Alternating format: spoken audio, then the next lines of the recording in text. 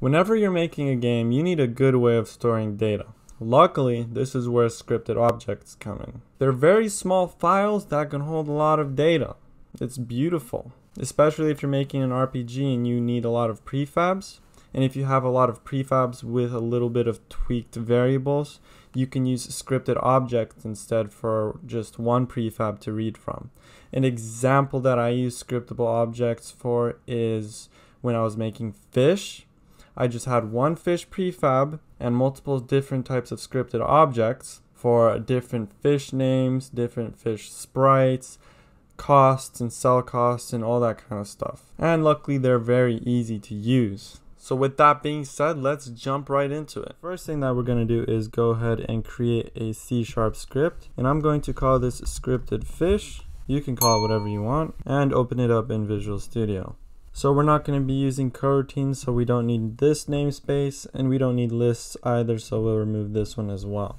And we're not going to need start or update. Now scriptable objects cannot be put on a game object, so we have to replace MonoBehaviour with scriptable object.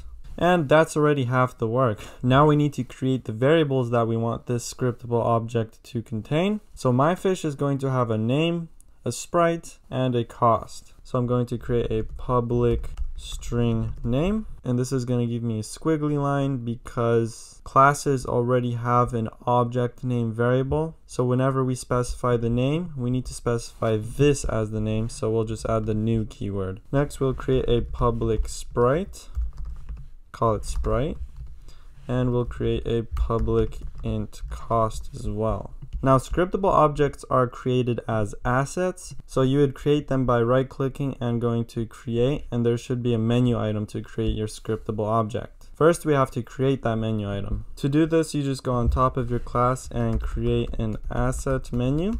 And the asset menu we'll take in a file name so file name is equal to, and basically what the file name is, is the default name of the scripted object whenever you create it. So I'll set fish to the default name. And next is the menu name, and the menu name is just the name of the menu item. So menu name is equal to, and I'm gonna go scripted objects slash new fish now what the slash does is it creates a sub menu in this menu. So you could go ahead and save your class and jump into Unity. So whenever you go create, you can see this menu item that says scripted objects and in it says new fish. Go ahead and create your scripted object.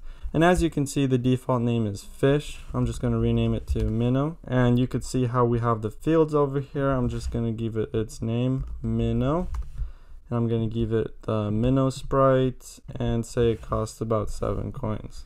Now you could come in here and say slash minnow just for each different scripted object that you have, but in our case we do not have this, just showing something you can do. So make sure you saved your class, jump back into Unity, and I'm going to create a folder in my assets and call it scripted objects. I'm going to take this scripted object and drop it in there. And I'm going to create a couple more scripted objects and I created a longfin bannerfish with a different name, sprite, and cost, and also a blue snapper. Now that we have our scripted objects, we need a way to use them. The way that you would do this is go onto your object that you want to use this scripted object, and if you don't have a script on it, go ahead and create it, but I already have a fish class, so open that up. And in here, I already have a region that folds away my wander code so that you don't have to look at it. And what you have to do in here is just simply serialize a field and it's going to be of type of scripted fish and I'll call it scripted fish.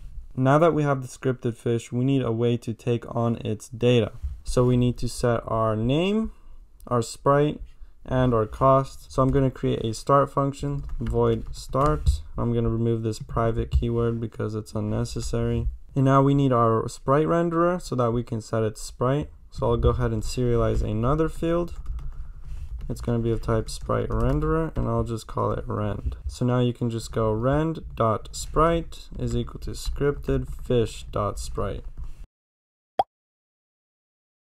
And we can also set the game object's name. So name, the name of this game object is equal to scripted fish.name. And for now, we'll just debug.log the cost of the fish. So just go debug.log costs plus scripted fish.cost plus coins.